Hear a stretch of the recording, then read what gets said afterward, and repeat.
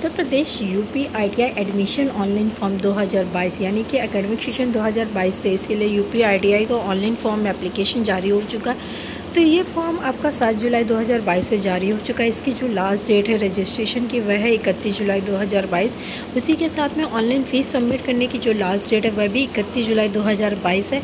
अब देखते हैं फ़ीस क्या है। तो जनरल ओबीसी छात्र छात्राओं के लिए दो सौ है और S C S T students के लिए आपकी डेढ़ सौ रुपये है। क्वालिफ़िकेशन यानी कि एलिजिबिलिटी क्राइटेरिया आपकी क्लास एट्थ और टेंथ क्लास पास होना चाहिए। उसी के साथ में मैथ्स और फिज़िक्स आपका कंपलसरी है। मिनिमम क्वालिफ़िकेशन आपकी मिनिमम एज क्राइटेरिया आपकी 14 इयर्स होनी चाहिए। अब देखते हैं कौन कौन से ट्रेड्स हैं जिसमें कि आप एडमिशन ले सकते हो। तो प्लास्टिक प्रोसेसिंग ऑपरेटर ये वन ईयर का कोर्स ड्यूरेशन रहता है। इसी के साथ में आपका जो हाई स्कूल पास होना चाहिए मैथ्स और केमिस्ट्री